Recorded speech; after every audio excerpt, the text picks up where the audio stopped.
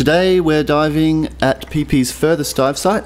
It's called Hinbida and it's about one kilometre past the southern tip of Phi Phi Leh. It's a pinnacle that sits in open water at about 30 metres. The main reason to come here is to look for these guys. They're called leopard sharks or zebra sharks. Uh, there's a fairly healthy population of them here, and it's very common to find them swimming around in the sunlight in the shallow parts of the reef, and also resting on the sand in the deeper areas where there's a strong current. Leopard sharks generally like to rest in an area with strong current, and you can see here the current rushing towards the shark. You can see there his teeth. Leopard sharks have grinding teeth for breaking up small mollusks and shells.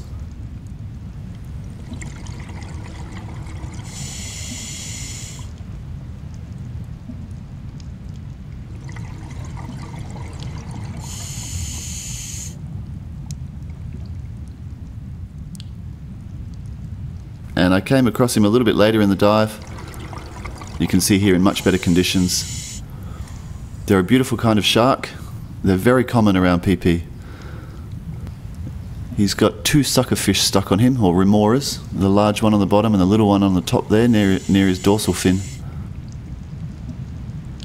Very little soft coral on Hinbida, but lots of good healthy Porites coral.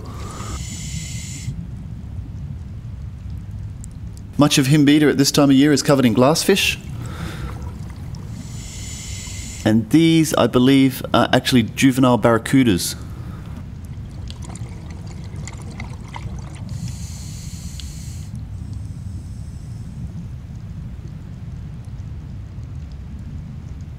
This is a hexagon grouper.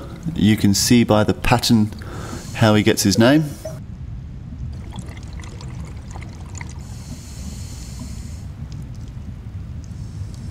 These guys are called Java rabbitfish, and it's very common to see them feeding on jellies.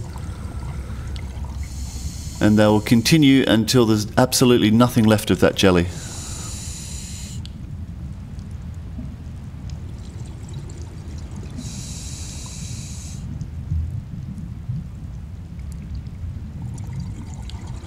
And the last thing I filmed today is this guy. He's called a red octopus, and they're easily identified by the white stripe that goes down the front of the body.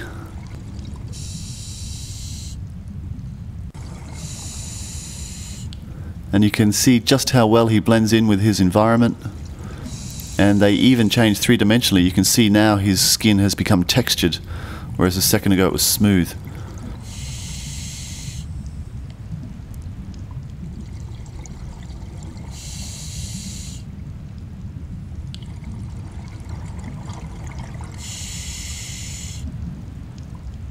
It's called Hinbida. It's a fantastic dive site. It's well known for leopard sharks.